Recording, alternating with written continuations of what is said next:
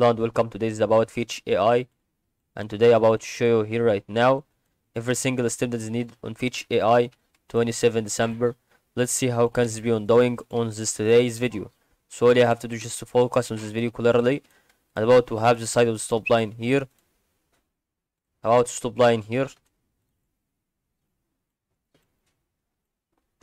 also where it has to be about this support about the Fetch AI stock is really very important on this case so you can really look for something that about to be watching something that is very important on 57 uh, percent 77 cents so he said broke 77 or maybe 75 so you can see that it's still absolutely here on 15 december or 16 december which is previously from two weeks.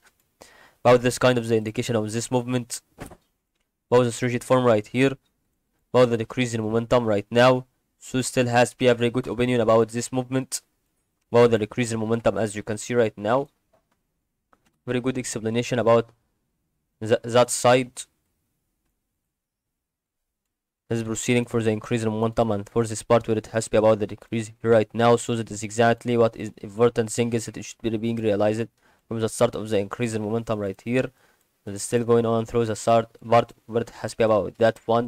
Fetch AI as you can see here right now about the Fib retracement which is looks like about from 20 cents to 90 so there's still a very good important stage that you should really realize this once you are looking for the increase until this level and then decrease again because it has to be ending the process from 0 to 1 Fibonacci level.